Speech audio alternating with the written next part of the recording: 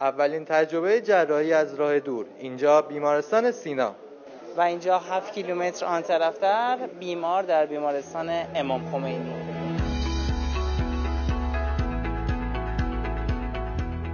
از 15 سال پیش شروع کردیم که حالا دومین کشوری باشیم که خودمون به فناوری جراحی رباتیک از راه دور دست پیدا می‌کنیم. سامانه جراحی رباتیک از راه دور سینا هست که از دو بخش تشکیل شده. بخش اول کنسول جراحی که در اختیار جراح قرار داره.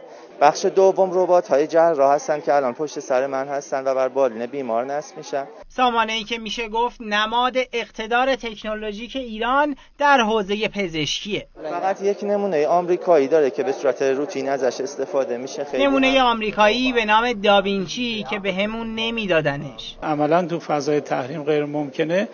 اساتید و دانشمندان اما خودمون ساختیمش و حتی تو خود آمریکا هم ثبت اختراعش کردیم. در بسیار از کشورهای دنیا از جمله خود آمریکا، چین و کشورهای اروپایی ثبت کردیم و آماده ورود به بازارهای جهانی و رقابت با محصول آمریکایی هستیم. گامی بلند که موجب خورسندی و افتخار همه ما می‌تونه باشه.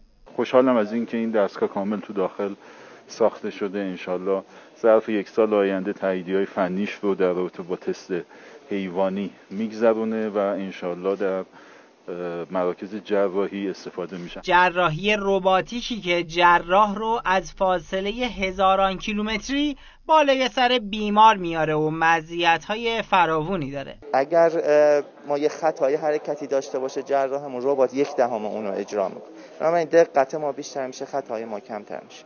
دوم اینکه اگر دست جراح دچار لرزش باشه در حرکت های ظریف سیستم فیلتر می‌کنه. سوم اینکه ما به جای اینکه دستای جراح رو وارد شکم بیمار بکنیم ابزارهای 5 میلیمتری رو وارد می‌کنیم مزایایی که این حس رو به جراحان میده. و الان من به عنوان جراح می‌تونم بگم با آرامش اسمی می‌تونم اینجا یه عمل جراحی رو روی حیوان انجام بدم حالا داوینچی آمریکایی یه رقیب جدی به نام سینای ایرانی داره. سینایی که حاصل کار متخصصین داخلیه و می‌تونه حرکتی نو در حوزه جراحی بیماران در کشور باشه. علیرضا مرادی باشگاه خبرنگاران جوان.